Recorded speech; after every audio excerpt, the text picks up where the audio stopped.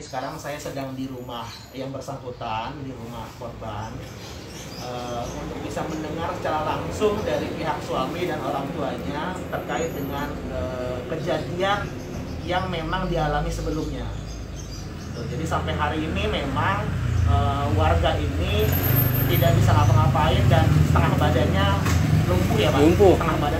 lumpuh dan diduga ada kegiatan atau kejadian malpraktek dari salah satu dokter di Rumah Sakit Buah Hati Ciputat. Ya. Ada dugaan, ini tidak menunggu tapi dugaan. Nah, eh, cerita singkatnya gini, eh, tahun lalu pada saat ini ramai eh, sudah pernah melaporkan ke Pemkot dan ke Dinkes tapi tidak ada follow up-nya dari eh, Pemkot dan Dinkes.